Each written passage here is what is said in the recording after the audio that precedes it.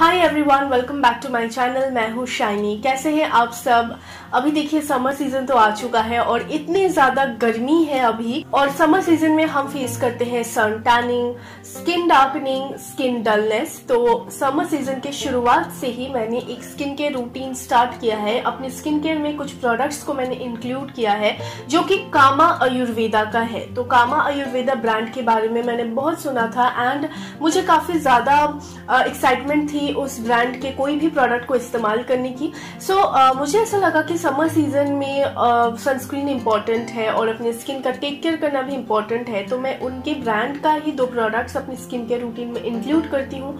तो मैं पूरा जो सी समर सीज़न है वो मैं इस्तेमाल करूँगी एंड फिर मैं आप लोगों के साथ मेरा ऑनेस्ट रिव्यू भी शेयर कर पाऊँगी। सो so, चलिए बिल्कुल टाइम वेस्ट के बिना मेरे आज के इस वीडियो को स्टार्ट करते हैं। जो दो प्रोडक्ट्स मैंने अपने स्किन केयर में इंक्लूड किए हैं फ्रॉम कामा आयुर्वेदा वो है ये कामा आयुर्वेदा नल्प मरादी तैलम, जो कि स्किन ब्राइटनिंग ट्रीटमेंट है, और ये Kama Ayurveda natural sun protection जो कि यूवीए यूवीबी प्रोटेक्शन देता है पीए डबल प्लस का प्रोटेक्शन देता है एंड कामा आयुर्वेदा के प्रोडक्ट्स मेड इन इंडिया है। So first of all let me talk कि ये जो तैलम है ना इसका पैकेजिंग से ही आप सबको पता चल रहा है कि I have use quite a lot of this क्योंकि इसका पैकेजिंग में बा, मेरे बाथरूम में ही हमेशा ये रहता है।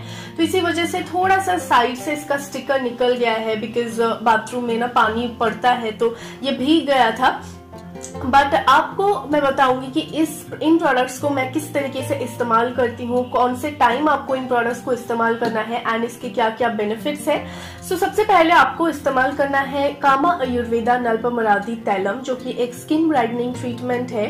और ये एक स्किन इल्यूमिनेटर है नेचुरल इल्यूमिनेटर है जो फेस एंड बॉडी को ब्राइटन करता है डेली बेसिस पर अगर आप इसे इस्तेमाल करते हैं तो आपकी स्किन काफ़ी ज़्यादा रेडियंट बनती है ग्लोइंग बनती है। और ये जो तैलम है, इस तैलम का प्राइस है nine fifty rupees for hundred M L in fact अगर आप वुड बी ब्राइड है तो ये आपके लिए बहुत अच्छा है। आप इससे थोड़ा सा मसाज कर सकते हैं अपनी स्किन अपने फेस एंड नेक तो इससे क्या है कि ब्लड सर्कुलेशन भी इम्प्रूव होगी एंड एक खूबसूरत सा ब्राइडल ग्लो मिलेगा आपको। ये तैलम 100% आयुर्वेदिक और नेचुरल प्रोडक्ट है। सो so, आपको इसे इस्तेमाल कैसे करना है? आप इसे अपने होल फेस नेक एंड अपने हैंड्स एंड लेग्स पर अच्छे से मसाज कीजिए। आप, आप अपने होल बॉडी पर भी सप्लाई कर सकते हैं। अच्छे से इसे मसाज मसाज कीजिए और इससे ब्लड सर्कुलेशन भी इंक्रीज होगी। एंड देन इसे 30 टू वन आवर के लिए वैसा ही छोड़ दीजिए। फिर आप शावर लीजिए और कोई भी माइल्ड क्लेंजर के साथ या आप नॉर्मल बेसन के साथ भी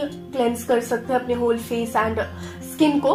तो उसे आप क्लेंस कीजिए एंड देन आप शावर ले लीजिए। उसके बाद आप इस सनस्क्रीन को अप्लाई कीजिए। सनस्क्रीन मस्ट है समर सीज़न में। सनस्क्रीन आप सिर्फ़ और सिर्फ़ बाहर जा रहे हैं, उस टाइम ही नहीं। जब आप घर पे हैं, उस टाइम भी आपको सनस्क्रीन ज़रूर अप्लाई करना है। और ये जो सनस्क्रीन है, ये काफ़ी माइल्ड है। ऑल स्किन टाइप्स के लिए परफेक्ट है।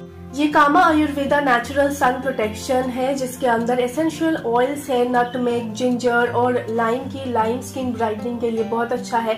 जिंजर अगर आपकी स्किन में इरिटेशन है या फिर एक्नी है या फिर किसी भी तरीके का रैश है तो उसको काम डाउन करता है कूल करता है एंड नटमेग uh, हमारे स्किन को ब्राइटन करने में काफ़ी अच्छा है। ये आप डेली बेसिस पर इस्तेमाल कर सकते हैं। नॉन नैनो है और एस पी का प्रोटेक्शन आपको मिल रहा है यूवीए यूवीबी का protection P A double plus है। तो ये सिक्सटी एम का है, जिसका प्राइस है one three five zero rupees totally natural है आयुर्वेदिक प्रोडक्ट है।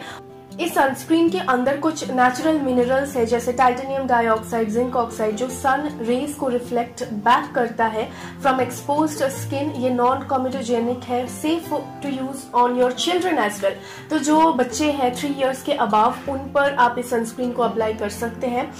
मुझे तो काफ़ी ज़्यादा पसंद आ रहा है ये दो प्रोडक्ट्स तो आप भी इस प्रोडक्ट को ट्राई कर सकते हैं। आप मेरे डिस्क्रिप्शन बॉक्स को ज़रूर चेक कीजिए। डिस्क्रिप्शन बॉक्स पर मैंने लिंक प्रोवाइड किया है। सो यार that's it for today's video video पसंद आए तो वीडियो को लाइक कीजिए शेयर कीजिए और मेरे चैनल को ज़रूर सब्सक्राइब कीजिएगा। आज के लिए इतना ही। Stay stay happy bye